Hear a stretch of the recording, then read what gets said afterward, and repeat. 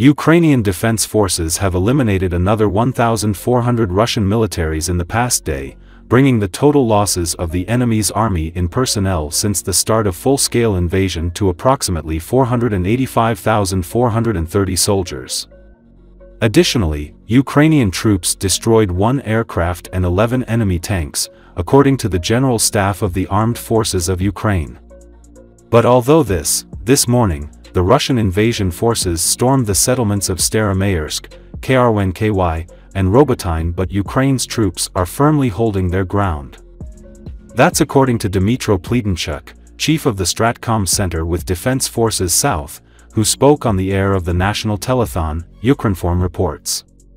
This morning, they stepped up their efforts at all three of our locations, Staromaersk, Krynky, and Robotyne. There was one assault in each of those areas this morning but no positions were lost, Pletenchuk said. He added that yesterday, the enemy made 12 attempts to storm Staromaersk and 4, Krynky. According to Pletenchuk, the enemy combat losses in the past day was nearly the same as over the previous day, but the ratio of irreversible losses has tripled. That is, the intensity of the fighting was higher, although there were fewer assaults, he noted.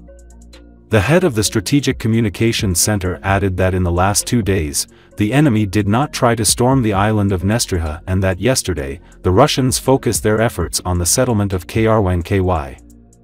Over the past day, as Pletenchuk noted, the enemy attacked Ukrainian positions using unguided air missiles launched from a helicopter, which yielded no results for the adversary. The Russians also launched a ballistic missile, likely an Iskander, targeting an administrative building in Kherson. Over the past day, the enemy shelled settlements along the right bank of the Dnipro, where one civilian was killed. According to the official, both sides are actively employing drones and e-warfare systems. Every day, we see hundreds of drones swarming from both sides, and EWs are used by both sides, too. Our units also have appropriate cover, Pletenchuk said.